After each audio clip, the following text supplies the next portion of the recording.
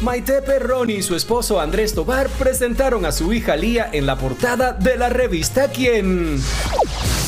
Dicen las malas lenguas que Clara Chía está furiosa con Piqué, supuestamente porque el exfutbolista es bastante descuidado a la hora de vestirse. De ser cierto estos rumores, seguramente Shakira estaría felicísima.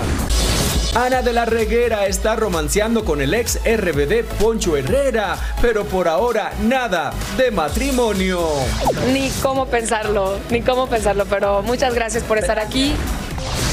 Ahora que Ricky Martin ya anunció su divorcio y supimos que deberá pagarle manutención a su ex, el astro boricua ya comenzó a trabajar de nuevo y ayer se presentó en Mónaco con orquesta sinfónica y todo.